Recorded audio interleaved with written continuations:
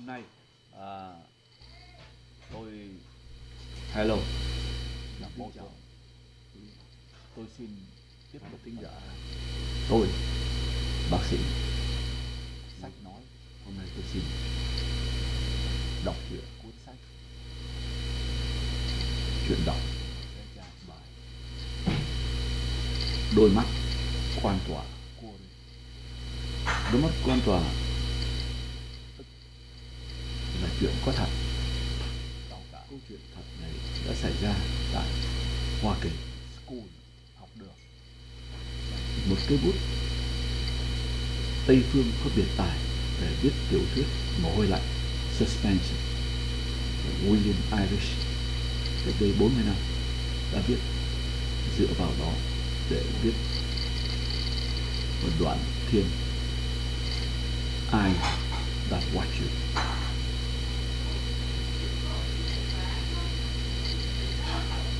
đôi mắt quan tòa mà bạn đọc sắp thưởng thức sau đây là một ly cocktail gồm một phần chuyện thật của Lý Vãn. Phần chuyện sắp xếp của Irish cộng thêm phần đơn kỹ thuật bố cục. Thắt nút tưởng tượng của người thứ ta, bà Cúc cũng như Mọc Hiền Thế Nhân cũng như Quang Vinh là những nhân vật, tiểu thuyết. Thế nhưng tiểu thuyết hòa trộn với thực tại, nào dẫn đến nỗi chúng ta sẽ bị thảm trạng gia đình trong đôi mắt quan toàn có thể đã là thảm trạng gia đình trong xã hội Việt Nam bây giờ. Người thứ tám. Đây là đoạn chuyện của một tập truyện gọi Z28 chuyên viên về tiểu thuyết. Mồ hôi lạnh di hàng tám đôi mắt quan tỏa. Hôm qua cũng như hôm nay. Cũng như ngày mai. Cũng như chuỗi ngày sẽ tới. Cũng như những ngày, những tuần, những tháng, những năm dài lê đây tràn đầy phiền muộn quá khứ. Cuộc đời lê đều là nghiệp ấy. Cuộc đời nặng chịu chán trường và buồn tàn ấy. Là cuộc đời của bà cầm cuộc đời sống không ra sống, chết không ra chết. Từ 15 năm nay rồi. Cũng như hôm qua, bà cực ngồi bắt đầu trong cái xe lăn phế nhân quen thuộc nhìn xuống đường phố náo nhiệt. Bà cầm nắng bao lên phóng phòng bà nhìn ra hướng đông. Cho nên mỗi sáng xe lăn của bà được đẩy từ giường ra bao lơn bà cực mắc một chứng bệnh kỳ lạ. Bà đang khỏe mạnh, làm lộn từ sáng đến khuya không mệt. Bỗng sụi lơ một bên hông rồi cả hai bên. Rồi dần dần bị bại hoàn toàn từ gan bàn chân lên cổ. Rồi dần dần, một bức tường kiên cố vô hình sập xuống, ngăn bà tiếp xúc với thế giới bên ngoài bà bị tê liệt, xong bà còn trò chuyện về với đứa con trai độc nhất còn lại của bà. Đùng một cái, bà cầm căn bệnh quái ác thâm nhập dây thần kinh lưỡi miệng.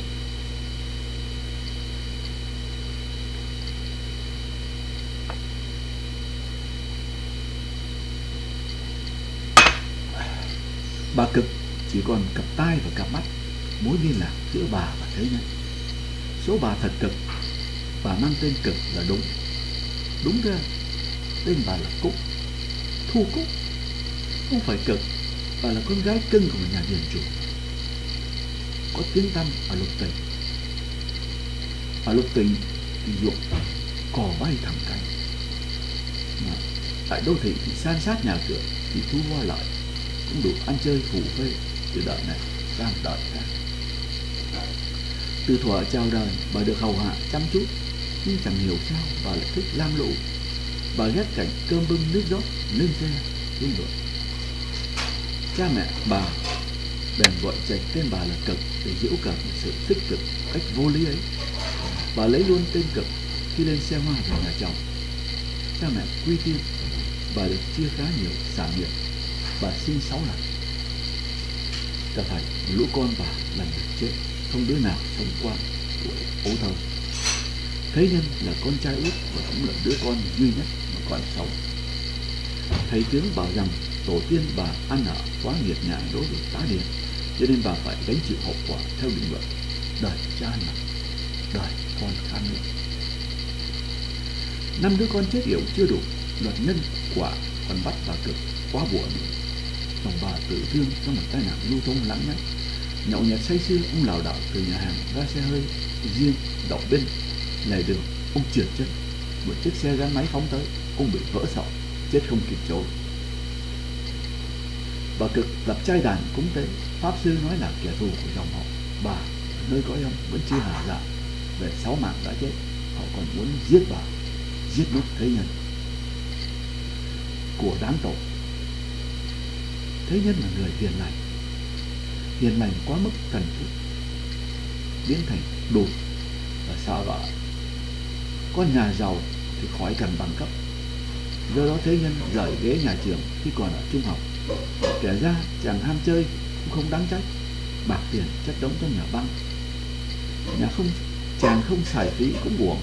Được cái, dễ thương là chàng rất tốt tốt với tất cả mọi người. Đối với mẹ thì hiếu thảo tột bậc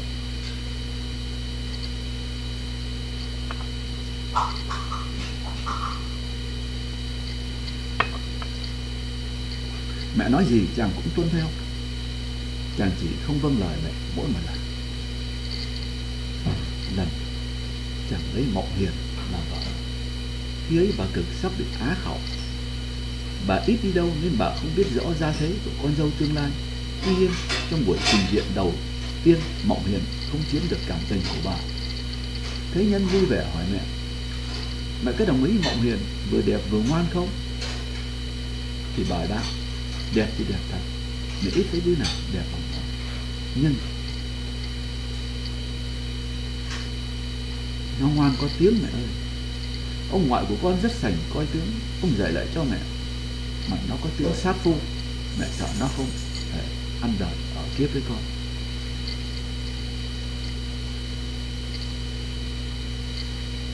Con xin mẹ xét lại, con không dám cãi mẹ. Nhưng mẹ ơi, con đã lỡ nó mang thai à? Thưa mẹ vâng đám đám cưới được cử hành trước nữa mộng hiền bị xảo thai. Nửa năm sau lại có chuyện, sinh đẻ đàng hoàng. Phiền mà nổi đứa con mang bẩm tật miệng méo mắt lẽ. Nó được các y sĩ lỗi lạc săn sóc mà chỉ sống được mấy tháng. Từ đó mộng hiền không mang thai nữa. Trong nhà không khí bắt đầu ngột ngạt bà cực bị câm đột ngột. Bà đành ứa nước mắt. Ngồi, nghe tiếng bấc tiếng chì phát xuất từ cái miệng của miêu sáng mệt của con dâu. Thế nhân tiếp tục bị nhục, chàng có vẻ ưu tư nhiều hơn. Mọi việc cũng ít lớn tiếng. Thời gian gần đây, thế nhân nơi cá ngựa. Chủ nhật nào cũng thua lớn mộng hiền vắng nhà luôn thỉnh thoảng vợ chồng mới ăn chung bàn ban đêm mỗi người một phòng, bà cực nhận thấy thế nhân còn yêu vợ ý nghĩ ly hôn chưa bao giờ được chàng nói thành lòng mộng hiền lại càng không bao giờ đề cập tới vấn đề ấy. Vì lẽ giản dị, thế nhân được thừa hưởng gia tài đồ sộ. Tuy vậy, bà cực có cảm giác sự yên lặng trong nhà chỉ là sự yên lặng tạm bợ sự yên lặng để chuẩn bị. Sự yên lặng ghê gớm trước cơn bạo lực sẽ đọc tiếp sản phẩm cảm ơn xin ngực